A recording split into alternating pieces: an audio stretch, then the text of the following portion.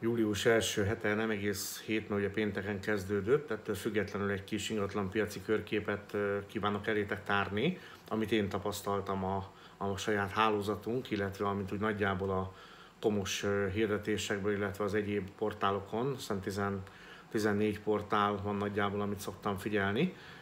Erről gondoltam egy kis videót, ugye ma ingatlanpiaci körkép címszóval készíteni nektek. Sziasztok, Szűcs Tamás vagyok, az üzleti gondolkodó. No, hát az elmúlt saját tapasztalatokat fogok, fogok kezdeni, saját tapasztalatokkal. A hétvégémet sikerült alapvetően üressé tennem, nem nagyon volt az a, az, az óriási bum, ami szokott lenni. El tudtam tologatni a hét végére, illetve előző hét végére, illetve a, ennek a hétnek az elejére azokat a, a megtekintéseket, illetve egyéb dolgokat, ami, ami szerettek volna a hétvégén, totálisan itthon tudtam maradni. Ez amúgy a számából is, tehát az érdeklődések számából is kiadható volt, illetve a kollégákkal szoktam erről beszélgetni, simán ők is csinálnak egy szabad hétvégét most, amíg ezelőtt egy hónappal vagy másfél-kettő hónappal gyakorlatilag nem nagyon volt lehetőség. Sőt, volt olyan, hogy azon kell sakkozni, hogy a, a mondjuk a környék két végén hogy érsz oda időbe. No hát ez most egy picit nem annyira működik.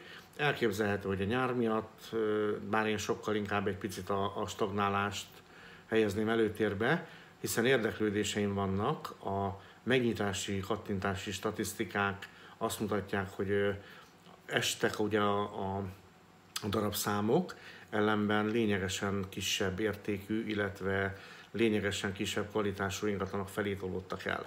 Az érdeklődéseim nagy része is általában nagyon alacsony árkategóriájú, mindegy mi az, de, de ő azt azonnal meg akarja nézni kategóriájú ingatlanokról van. A, a csúcs ezen a héten újra a 3,5 milliós, nem is tudom, minek nevezem, tehát a nyeles telek az, az nem jó kifejezés erre, mert 3 méter 60 és 4 méter 20 közötti szélességű, 156 méter hosszúságú telek az, és van az a réteg, aki felhív, majd felhív a fia, meg felhív a férje egy fél-fél óra múlva, és tudtomra akarja adni, hogy oda ő mindenképpen gondolt egy házat építeni, és, és hiába kérdezi meg az ember, és mégis hova.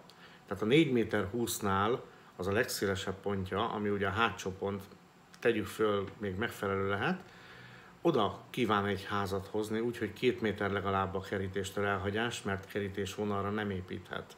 Konkrétan az építési szabály tiltja, bele van írva a hirdetésbe is, hogy épület nem építhető rá. Ettől függetlenül ő majd tesz rá lakókocsit. Jó, és hova?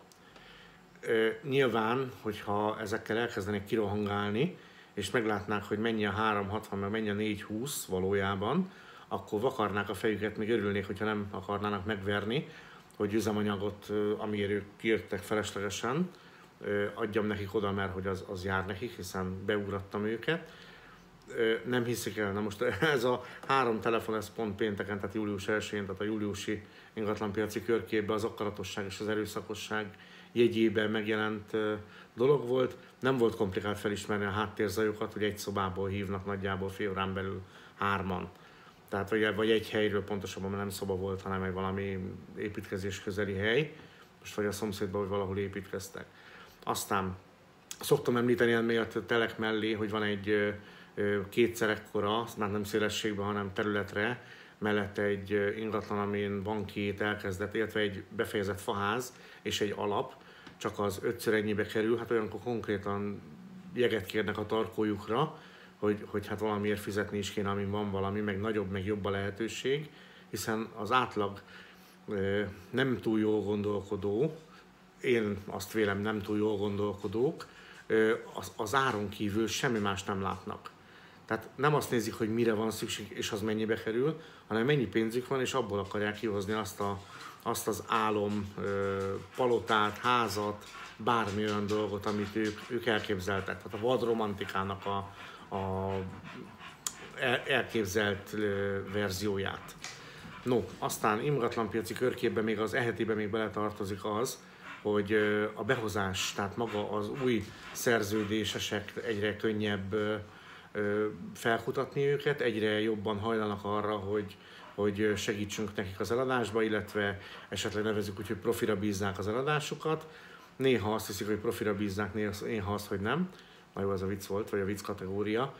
Egyelőre úgy néz ki, hogy egész jól csináljuk a dolgunkat, az irodánk elég jól ö, prosperált az elmúlt hónapban, tehát azért picit a múlt havi ö, adatnak a visszajelzése is, és, és úgy néz ki, hogy azért ha, ha az ember dolgozik megfelelően a, az ingatlanjaival, illetve a lehetőségekkel, azért van mit keresni a piacon egy, egy jelenleg egy eladások, tehát a jelenleg az eladások által is. No hát ennyit gondoltam a mai kis körképben végigadni. A statisztikát azt meghagyom jövő hétre, hiszen nem volt normálisan semmi péntek, szombat, vasárnap, meg egy pár nap.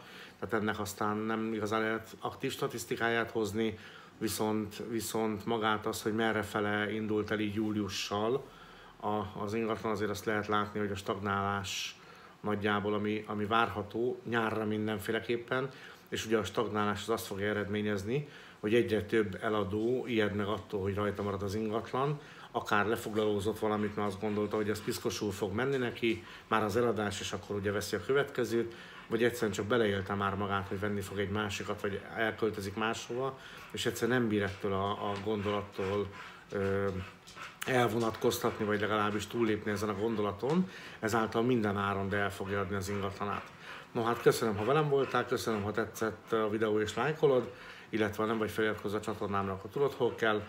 Köszönöm a kedves üzlettársamnak, hogy ugye minden alkalommal megjegyző, hogy nem mondjam el, de én azért is elmondom, hogyha fel akarsz írni, iratkozni a hírlevelemre, akkor azt már szerintem tudod, hogy hol kell.